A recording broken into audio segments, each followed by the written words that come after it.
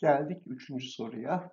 Uzayda 1, 2, 3 noktasının x eşittir y eksi 2, o da eşittir z artı 1 doğrusuna göre simetri olan noktanın koordinatlar toplamı kaçtır diyor arkadaşlar. Hemen çözüme geçelim.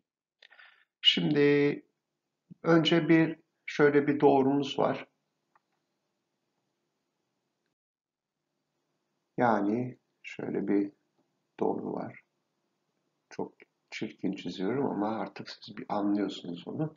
Uzayda bir de e, bir 1, 2, 3 noktası var. Buna göre simetri olan bir noktanın koordinatlarının toplamını istiyor. Yani A, B, C dersek A artı B artı C'yi söylüyor. Peki arkadaşlar şuradan şu vektörü oluşturalım. Yani şuradaki vektörü. Bu vektörü oluşturduğumuzda a eksi 1 virgül b eksi 2 virgül c eksi 3 olduğunu görüyoruz. Yani şu vektörü oluşturduk.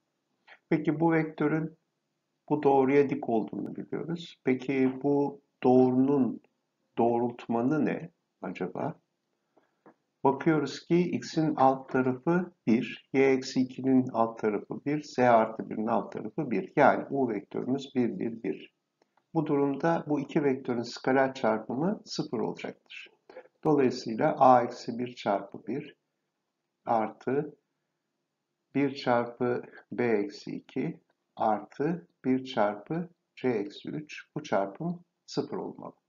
Buradan a artı b artı c'nin 6 olduğunu anlıyoruz. Yani bizden zaten A artı B artı C'yi istiyor. A artı B, A'yı B'yi C'yi ayrı ayrı bulmamız istenmiyor. Bu durumda yanıtımız Edirne.